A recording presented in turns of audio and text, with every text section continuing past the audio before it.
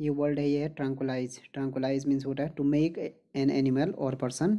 become unconscious और calm specially with a drug व्यक्ति या पशु को बेहोश करना, विशेषतः नशीली दवा देकर मतलब किसी को बेहोश करना या खासकर नशीली दवा देकर किसी को बेहोश करने को कहेंगे ट्रांकुलाइज